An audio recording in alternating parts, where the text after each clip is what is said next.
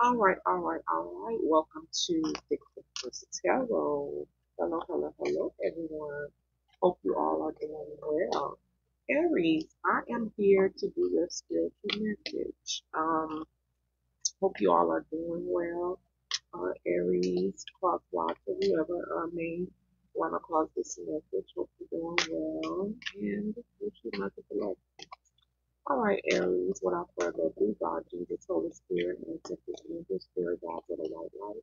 Welcome, welcome, welcome, Aries. Your spiritual message is going to consist of ancestor messages, angel messages, uh, Jesus messages, and God messages. Okay, so first we're going to start off with your ancestor messages. Let's see what the ancestors have to say to you, Aries.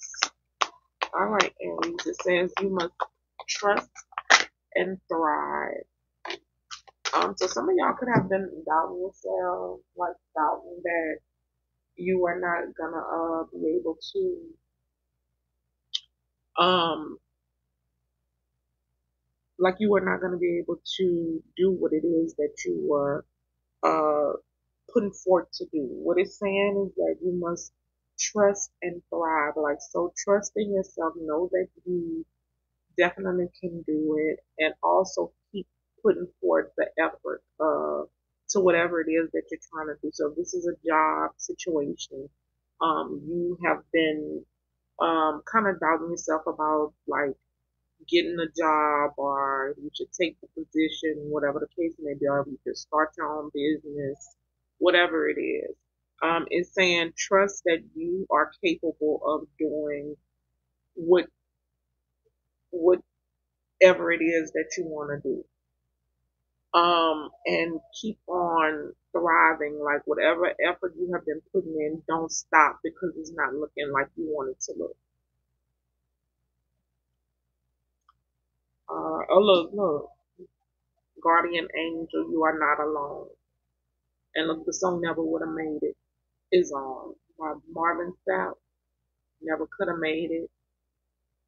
Um, God is wanting you to know that He is with you. The angels are wanting you to know that they are with you as well. Your ancestors are letting you know that they are with you, Aries.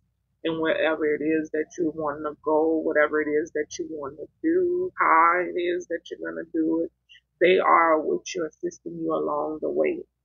And it says, unlock the magic within. So some of y'all have like the I'm hearing the gift of gab, but you're too scared or too afraid to unlock your magic, whatever that magic is. Like I say, where I gave you an example of a job, but like if this is a relationship, like you all have what it takes to be in this relationship. You just have to trust that all your efforts are paying off and continue to put forth the effort. Like I said, made it through my storm and my test. And you were there to carry me through my mess. So God is wanting you to know that He is with you every step of the way. Um, and with that, you're going to become stronger and wiser once you continue to thrive at um at this. Once you trust yourself, that's when the thriving is gonna come in. Okay. Um, because it says that what I'm hearing is that you've already like strive now it's time for you to thrive. So that's basically like seeing the fruits of your labor. You're at that point now, Aries. So like I was saying, if this was a relationship, you you've done everything for this relationship. You have what it takes to be in this relationship. You just have to maintain this relationship, maintain that employment, maintain that relationship with your kids, maintain the relationship with your family. You know, if that's what you're praying and asking God about. Yeah, it's an exchange in energy to create abundance. For some of y'all, y'all not, um, it's like y'all wanting, what I'm getting is that like y'all wanting stuff to happen. Like if this is a job or you becoming an entrepreneur, you have the, the gift or whatever this is, but you're not um, what is it? Networking. You know, letting people know that, hey, I can make candles. Hey, I do hair. Hey, I, um, I sell incense, you know, whatever the case may be. you're not telling people, you're just expecting people to know because they see like the incense burning in your picture or, you know, you didn't, you gave one person, uh, a family member or somebody who said that that person said something.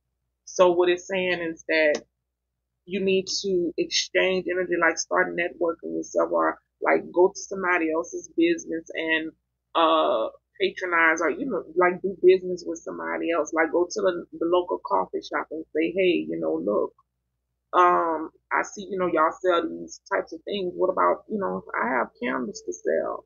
And you know start exchanging uh energy with people and then it's gonna they're gonna exchange their energy and that's good energy and then you can create what it is that you're trying to create aries and then it says enjoy growth and reap rewards. Once you do that, that's when you're gonna reap your rewards because whatever it is that you have, it's fertile. It's fertile and it's ready to come out. If this is a relationship, it is ready. If you are interested in somebody, you need to let this person know and don't expect for this person just to catch on to little subtle hints. Let this person know and say God is using you. All right. So let's see. Angel messages. What do the angels want to say to Aries? Listen to your intuition. Yeah, your intuition is telling you everything that you need to know. You just need to listen to it and follow it. Yeah, because look, you have helpful people around you that's willing and wanting to help you. Um, I think you're doubting that people would help you around you, uh, Aries. But yes, they are willing and, and able to help you. So just look for a sign.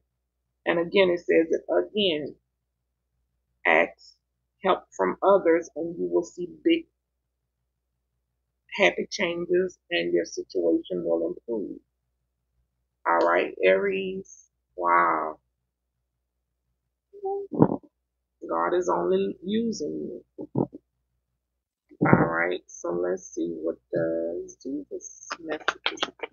What are Jesus messages for you, Aries? You are the light of the world.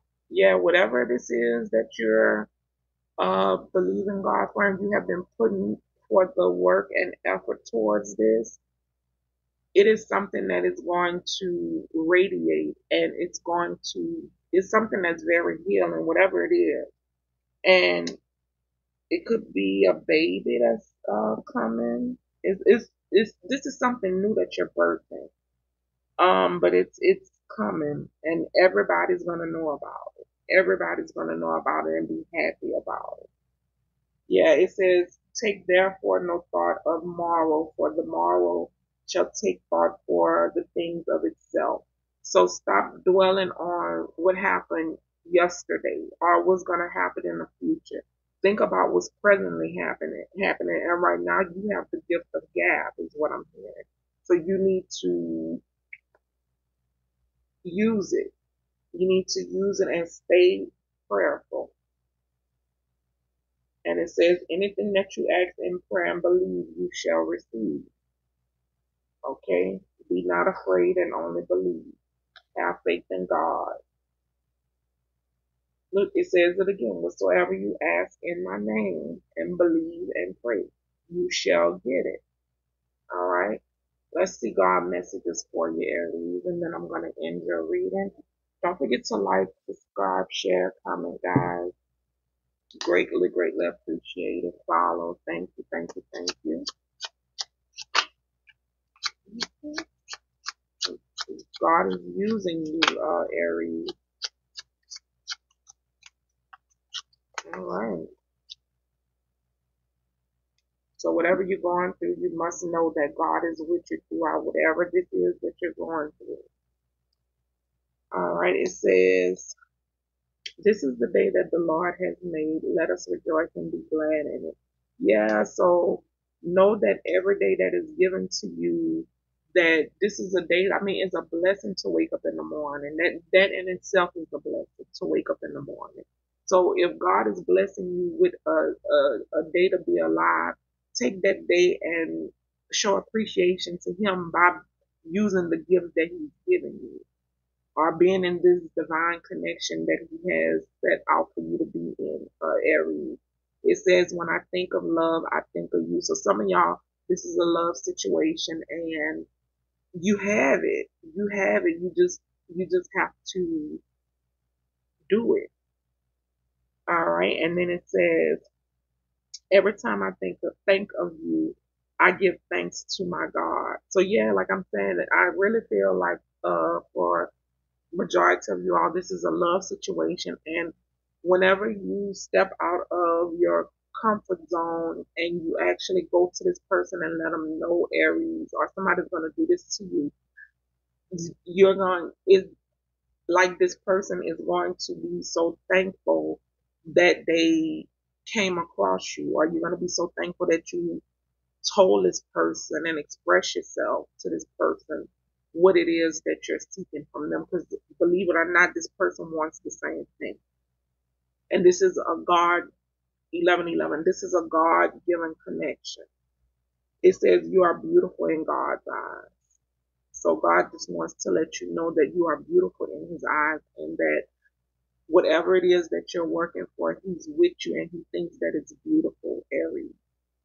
All right, Aries, I'm going to end your spiritual message. You guys be blessed. Don't forget to like, subscribe, follow, share, all that good stuff. Again, Aries, I thank you, thank you, thank you. And I hope you all had a blessed Thanksgiving. Be blessed, Aries.